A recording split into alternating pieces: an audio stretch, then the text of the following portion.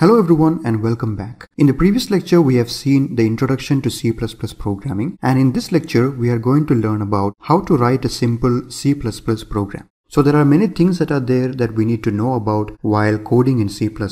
So here in this lecture we will study about the very basics and we will see what are the main or the basic things that are there that we need to know in writing a simple C++ program. Okay, so let's get started. So coming to writing a simple C++ program, the first thing that we need to know is about functions. Now let's see what is a function. Every C++ program contains one or more functions, one of which must be named main. Now if you are new to programming, you may not know what is the meaning of function, but if you already have some idea about programming, then you may know what a function is. So we are going to study about detail in function in the coming lectures, but for now just understand that function is nothing but it's a block of code that is going to perform some operation. Okay, so every program in C++ must contain at least one function and one of the function must be named main. So this is very important. The main function is one of the most important functions and the operating system runs a C++ program by calling main. So whenever you run a C++ program, program, the first function that is going to be called is the main function. So from the name itself, just try to understand what is main. Main means it is the main thing. So the main function is going to be called first whenever we run a program in C++.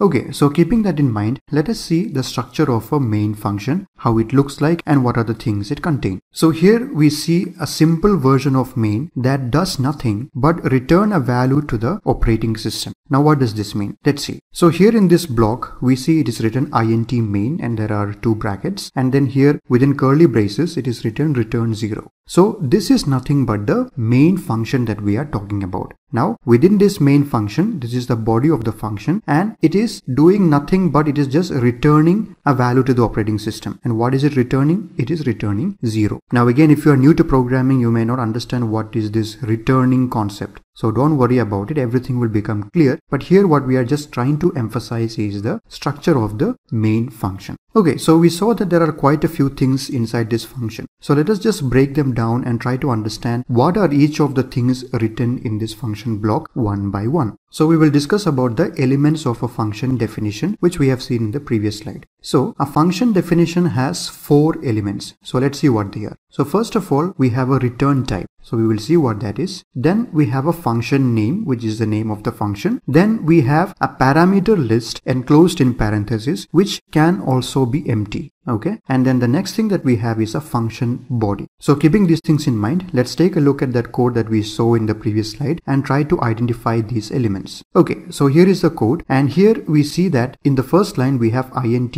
and main and we have the parenthesis. So this int that is written here which stands for integer is the return type. Now what do we mean by return type so again, as I said, we will study about this in detail as we move ahead. But for now, just remember that a function will return something to the operating system. And what is it? It can be anything depending upon the function definition. Now, what type of data is it going to return? That is specified by the return type. So here it is written int which stands for integer. That means what this function is going to return is an integer type. Then we have this main which is a function name. So main is the name of the function. So as I already said, this main is a function that has to be there in every C++ program that we write. Now you can also define your own functions and you can give your own names to that functions. So this part is the function name. And here we have the parameter list. So parameter list is also something that we will discuss later when we study about functions. So parameter list will contain the arguments that can be taken by that function. So again, if you are new, you may not understand what is this arguments. So don't worry about it. Just try to focus on this main function right now. So as it is written here, it can also be empty like it is shown in the example here. So here we see that this parenthesis is empty. So the parameter list is actually empty. And then within this curly braces, we have the function body which defines the operations that the function is going to perform. So what does this function do here? It does nothing, but it just returns a value which is zero. Now what is this return? So as I said, the function has to return something to the operating system. So in this case, it is just returning zero. So it will depend upon the function definition as of what it is going to return. So here it is just returning zero because we just have to return something. And here we saw that the return type was an integer. So we see that it is returning 0 and 0 is an integer. So whatever this function returns, it must be of the type integer. So that is why return 0 is written which is an integer. So this is just a small example showing the elements of a function definition. Okay, but this is not a complete program. It is just a block of function that we have seen.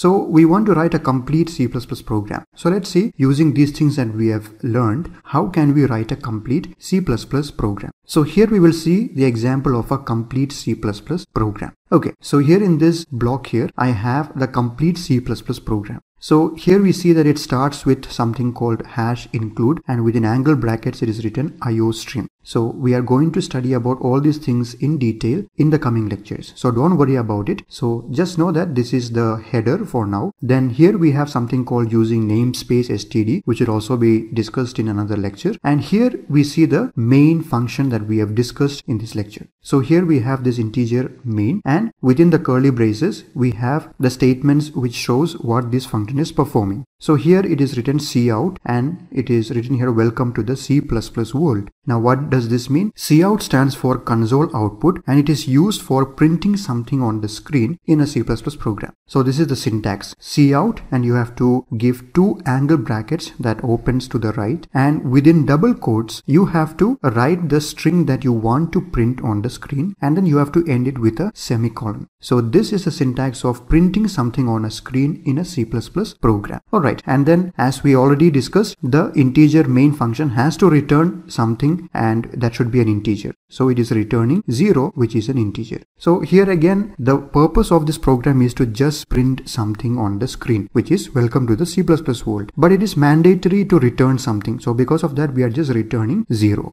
Okay, so if you run this program, you will get the output, welcome to the C++ world printed on your screen. So that is how a complete C++ program is written. So this is just a simple example. And as we move ahead in this course, I am going to show you how to actually install the compiler and how to use a source code editor in order to write the programs in a proper way. And then we will see how to compile and run the programs. So we are going to practically see and learn how things are happening. And that is the method that we are going to follow in this course. But for this example, I'm not going to go to the compiler because this is just an example to show how a complete C++ program looks like. So anyway, this is complete and if you just write the same thing and compile and run it, you are going to get this output on your screen. Right, now we studied about functions. Now another thing that we need to know about in a C++ program is known as types. So let's see what are types. So coming to types, types are one of the most fundamental concepts in programming. Now what do they mean? A type defines both the contents of data element and the operations that are possible